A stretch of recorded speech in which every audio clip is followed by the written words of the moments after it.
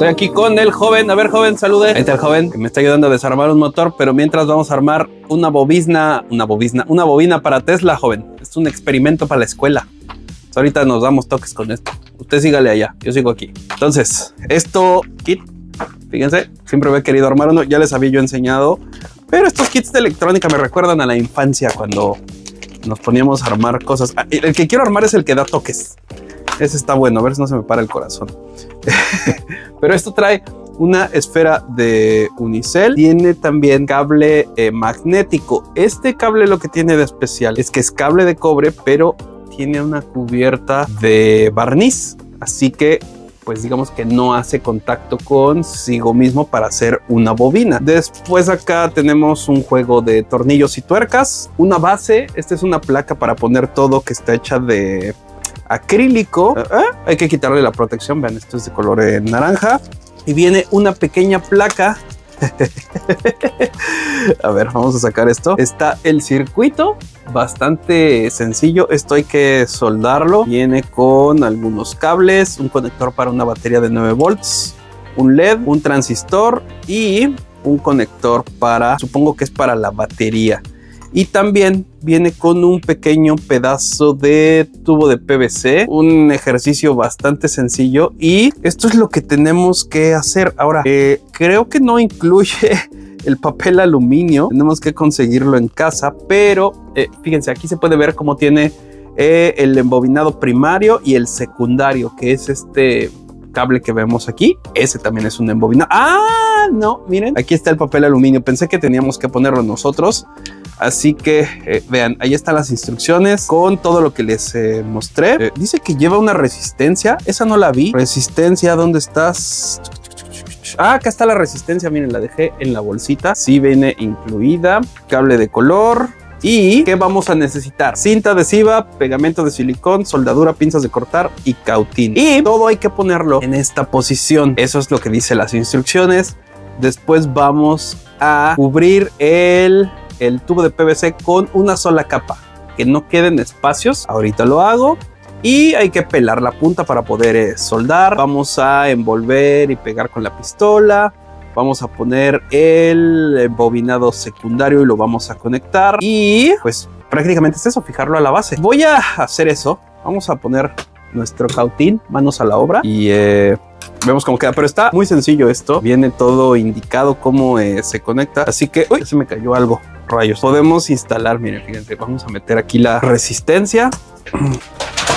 Después aquí eh, mi conector. Aquí va mi transistor y mi diodo. Fíjense en la polaridad. Todo esto va a ir aquí. En L2 vamos a poner nuestra bobina y el cable de la batería. Así que vamos a soldarlo.